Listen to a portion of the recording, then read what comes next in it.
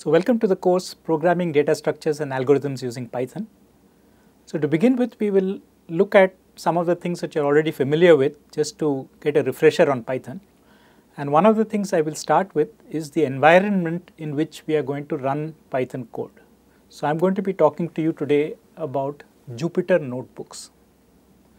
So, normally when we want to write and run code, there are many options available to us. Perhaps the simplest option is what you see here. So, you have a text editor, right. So, you type your code and then you open a kind of a console or a terminal and then you load the code that you have typed in in your text editor and then you run it. Now, this is uh, of course easy to do, but it is a little bit tedious because if you decide to make a change over here, then you have to go back, reload it. So, going around in this kind of cycle of edit and run is a little bit cumbersome if you are using a separate text editor and using directly the console. So, this gives rise to a more convenient interface which you are familiar with with Replit called an integrated development environment or IDE. So, in an IDE you have on one side something where you can edit your code and side by side you have this command window where you can run the code and see the output. And because you can now see the output and edit your code in the same interface, it is much easier to cycle back and forth and see how your code can be changed and how the output changes. So, you have this quick cycle of updating your code and running it. And of course, an IDE has other features also. So, it offers you typically a debugger. A debugger will allow you to interrupt your code and inspect the values of various variables to see what is going on. You might also be able to uh, prepare some test cases in advance and run them to see how your code performs and so on. So, this is the default that most people use for developing serious amounts of code and of course different IDEs are designed for different programming languages. Some like Replit support multiple languages, other IDEs you might find are dedicated to certain languages like Python or Java or C++ and so on. So, we already have an IDE, but I am going to present to you yet another way of writing and running code. And the question is why would one want one more when you already have an IDE? So, the main point that I would like to emphasize is that writing code whether for yourself or for teaching like I am teaching now also involves collaboration. Very rarely do you write code only for yourself, you usually work in a team. So, as a team you might be together developing the code or this might be a larger team. For instance, it could be some kind of a research environment and this is very common say in machine learning. You are trying to solve a problem. Coding is part of the solution, but is not the solution in itself. So, when you run the code, not only is it possible that more than one person may be running the code or developing the code to run, but there are maybe people who are not running the code, who are not even aware of how the code works, but who might want to know what the code does. So, then you want to be able to share your results. Now, not notice that when you have a typical IDE, uh, when you run the code, you can see the results. But what happens after you run the code? You can't take the code, you can't take the IDE open to another office and show somebody what you have done. You would like to have some way of preserving the output for later without having to go through a sort of cumbersome process of saving it to a file or preparing a report or something like that. So, here on the right you see a typical view of what a Jupyter notebook which is an interface that I am going to introduce today looks like. So, you have on one side the ability to write text. So, in this case it is just a simple title, but you can also as we will see introduce more annotations which describe what you have done or what you are planning to do. And then you have in this block you have the actual code exactly as you would have typed it into a standard editor or into an IDE. And now at the bottom you have outside this gray area you have the output of the code what you would normally see in a separate window on the side in an IDE. So, the documentation is interleaved with the code. So, you have the documentation here, you can have more documentation. So, in between your code fragments or different parts of your code, you can introduce documentation without looking at it in the comment section of a Python program. So in Python, of course, you can include comments by writing this hash and then writing something after that. But this doesn't look very neat and it's also very difficult to format. The idea of this notebook is that you can actually format your text and interleave it with the code so that it looks readable. The other thing that you can do in this environment, which is difficult to do when you're working in an IDE, is to replace one piece of code by another piece of code without abandoning the previous one. You don't want to throw it away. You want to say, what if I replace this by that? So I might have two different definitions of the same function and I may want to try out both of them without having to go through a tedious process of you know loading a different file or deleting one and replacing it by the other. So I want both but only one to be active. And we will see that in a notebook this is possible because it really depends on which was the last copy of that function that you executed. And finally, as I said, you would like to keep the outputs available for somebody else to see. Now, this could be for two reasons. One is you are just reporting it. You want to prepare a kind of documented output after you've run your code so that you can evaluate whether it did the job that it was supposed to do or you want to run it again. And the other thing is also that if somebody else wants to run your code, they should be able to see what you had got with your output so that when they run it, they can see whether they get the same output or they get some other output, right. So, preserving the output is part of saving this project as it were for future use. So, the concrete interface that we are going to look at is something called a Jupyter notebook.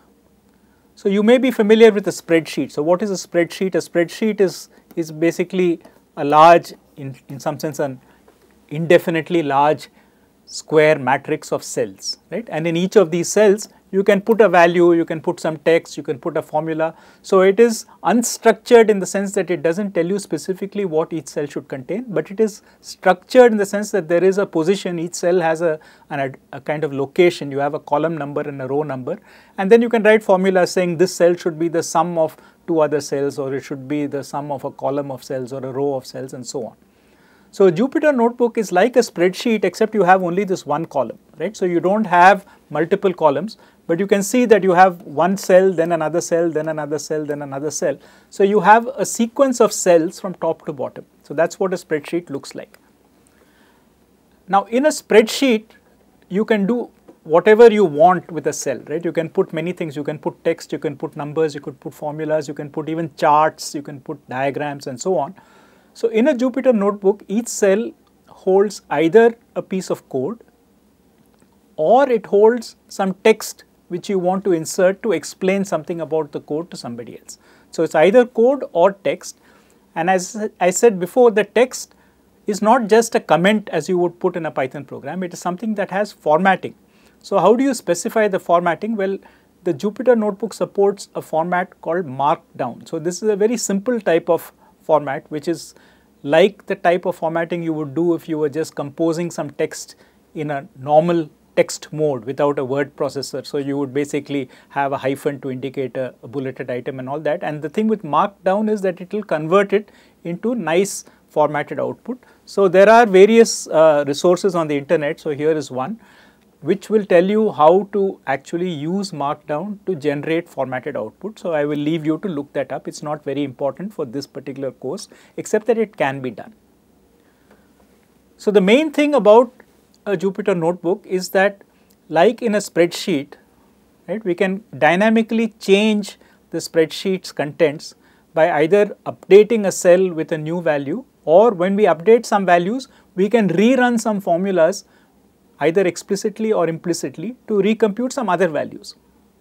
So, in the same way in a Jupyter notebook, you can add code or update code and then rerun that code. So, you can change definitions of functions, you can rerun an output and see how it changes with each edit. So, you might wonder about the name Jupyter. So, the notebook as such, this is a spreadsheet like format. This notebook as such is not specific to Python. So, it is a generic interface to any programming environment which allows you to kind of interpret your code where you can write code and then immediately get it to be recognized and run. So, that is what happens in Python, right? We change the code and then automatically the Python interpreter is able to read the updated code and run it. So, Jupyter was designed to work with three different languages, uh, Julia, Python and R. So, R you may have come across in some statistical context. So, Julia is also a kind of scripting language for these kinds of calculations. So, if you take the first few letters of Julia, Python and R, you get Jupyter and that is the origin of the name.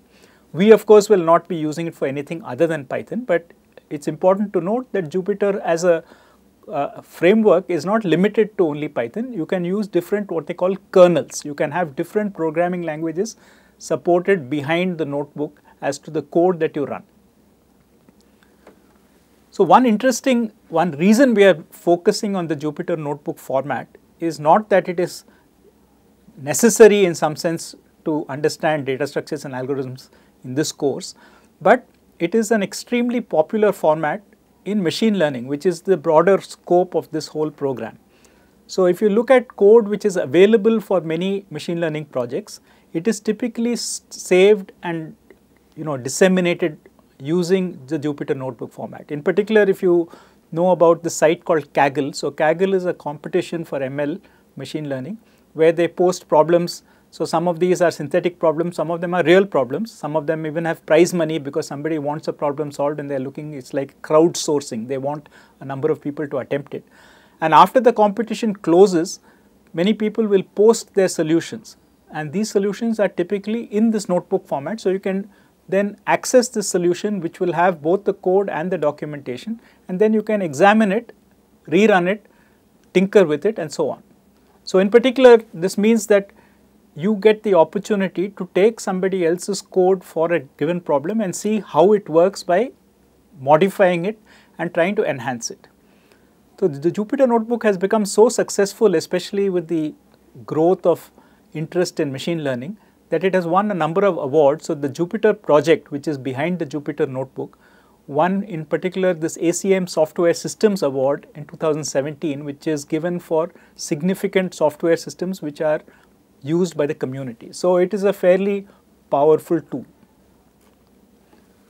So, of course, you can run Jupyter Notebook on an individual system, whatever system you have, whether it is Windows or Mac or Linux, by installing it. And like any other Python system, you also have to import and install the relevant libraries that you need. We on the other hand will be using a publicly available form of the Jupyter Notebook which is put up by Google in what is called Colab which is short for the Co-Laboratory. So, colab.research.google.com leads you to an interface where you can create these notebooks and save them and it is most importantly free to use. So, this has a slightly different look and feel from the Jupyter notebook that you would install on your own system, but essentially it is the same broad structure which has been customized by Google for their internal use and then released for public use. So, it is a customized Jupyter notebook and one of the things which will be useful for you not necessarily in this course, but outside this course and the other courses that you are doing is that Colab has all the standard packages for machine learning preloaded. So, in particular there is a very popular uh, library called scikit-learn which has a lot of the standard machine learning models already implemented in it which you can call and use. And there is Google's own library called TensorFlow which is used for deep learning or deep neural networks. Plus because it is running on the cloud, you also have access to hardware which is beyond the limitations of your personal computer. In particular, Google makes it possible for you to run some of this machine learning code on what's called a GPU. A GPU is a graphical processing unit and it is very useful to run the kind of large scale matrix calculations which run behind the scenes in machine learning. So, many calculations which would take an enormous amount of time for you to run on the laptop will run in a much more reasonable amount of time on Colab using a GPU. So, to summarize, we will use Jupyter Notebooks because it is a convenient interface to develop Python code. In particular, this ability to edit, save and share the code is useful for me as an instructor also to be able to distribute the code that we discuss in this class to you after the class. So, you can incrementally update and run your code. You can write documentation in between your code using this markdown syntax. And most importantly, as I said, you can preserve the state of the notebook in terms of what you have run, what outputs you have generated and export it. And this is extremely useful for collaboration and for sharing, whether you are sharing it with a colleague or you are sharing it for teaching purposes like we are doing here. And the particular version of this Jupyter notebook that we are going to be using is Google's Colab, which is free to use and it's configured for machine learning.